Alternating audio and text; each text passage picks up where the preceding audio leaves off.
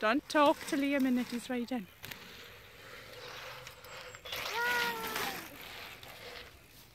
I'm playing for you, bye bye. Bye, Mum. Yeah.